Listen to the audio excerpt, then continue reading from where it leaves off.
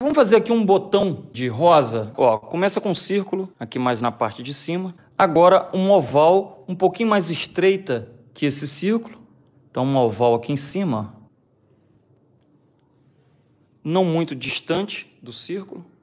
Agora nós vamos, vamos traçar aqui primeiro para a gente já entender. E aqui a gente já vai pegando uma certa intimidade com o carvão. O carvão a gente usa tanto é, bem assim na vertical, né, a pontinha, como a gente usa muito o carvão deitado. Nós vamos ligar aqui e ligar aqui. Agora nós vamos fazer isso aqui, ó. Isso é só para o entendimento, para é, a gente ir desenvolvendo esse olhar simplificado da forma. Esse aqui por cima e esse aqui por trás. Olha só. Agora Vamos já fazer uma sombra, ó. Vamos jogar a luz desse lado, tá? Uma luz vindo desse lado.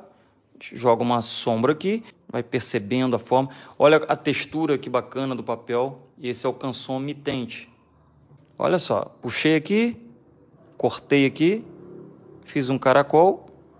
Agora, ó, completa aqui.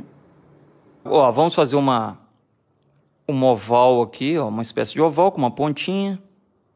A luz vindo aqui, vamos jogar uma sombra desse lado, uma irregularidade aqui na folha.